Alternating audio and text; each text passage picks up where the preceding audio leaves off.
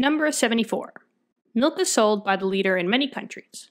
What is the volume of exactly one half gallon of milk in liters? Okay, so the first thing is is that when you're converting, try not to use fractions. I see that I have 1 over 2 here, so I'm just going to quickly change this into a decimal because it's just easier to work with decimals. I know a lot of students don't like to use fractions, so 1 half is just, if you put that into the calculator, it's just 0.5, or if you knew that, that's fine. So I know that now I have 0.5 gallon. I know I have 0.5 gallons, and I'm looking for the volume in liters. So I'm just trying to go to big L. Now, just know that you're dividing here, so you should have only one sig fig. 1 divided by 2, you have one sig fig up at the top, you got one sig fig on the bottom. So your answer should have only one sig fig here. The zero in the front does not count because it's a leading zero. Leading zeros never count for sig figs. All right, next I'm going to write my roadmap. Roadmap. We're starting off with 0.5 gallons, and we want to go to liters. Do I know a direct conversion between gallons and liters?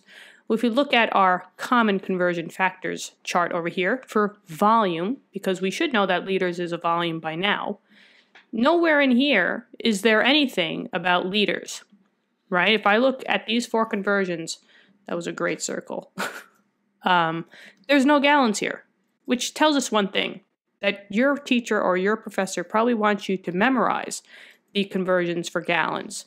I'm just going to throw two of them out here because I think you guys should memorize both of them. Just know that one quart equals 32 ounces and four quarts is equal to one gallon. Good, uh, good conversions to memorize just for, you know, good use in the, in the kitchen if you're cooking or baking or whatever. It's always good to know those. Good, good party starters too. But anyway, so now I have my gallon to quart conversion. I know that four quarts equal one gallon. So I can go from gallons to quarts. And then I can go from quarts to liters. Because if you look at either the first conversion here or the second conversion here, it's from liters to quarts or quarts to liters. So I know a direct conversion for that. So I'm going to label this as my first conversion and this one as my second conversion. So it's a two-step process. But still, with conversions, you always got to start with what you're given, and this is what you're given. So 0.5 gallons.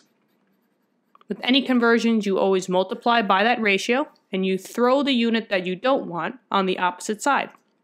So I'm just going to say GAL goes on the bottom, short for gallon.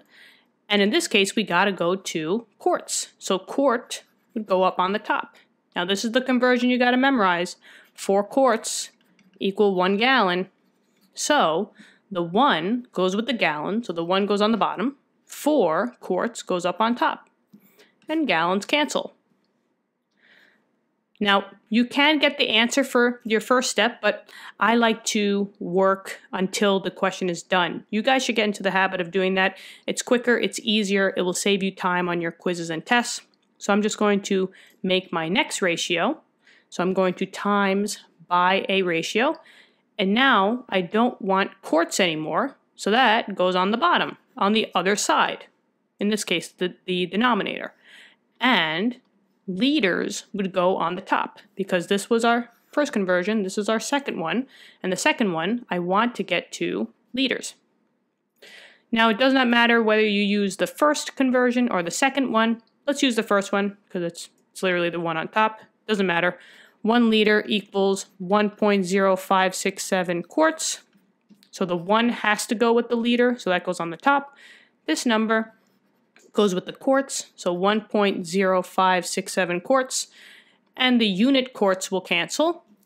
And now we just do the math. So multiply the numerators to simplify to get one numerator, so 0.5 times 4 times 1, and then you will simplify your denominators, and then do the math to get your actual number.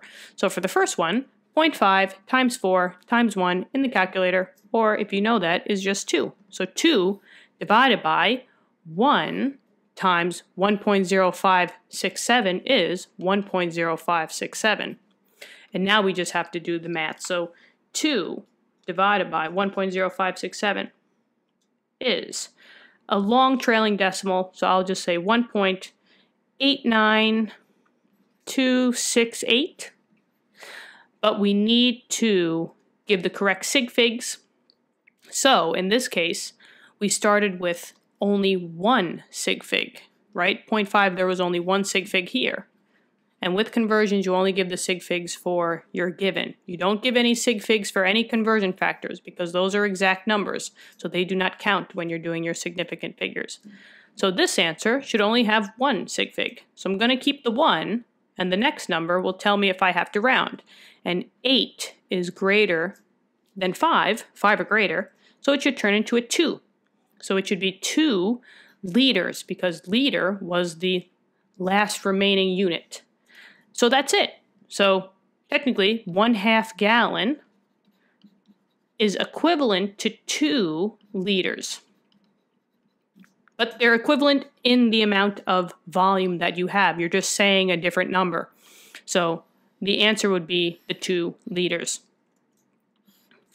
Awesome job, guys. So that one was this one. Wasn't too bad. If this helped you at all, let us know. Give us a comment. And like this video if you can. That would help us out a lot. And I thank you for that.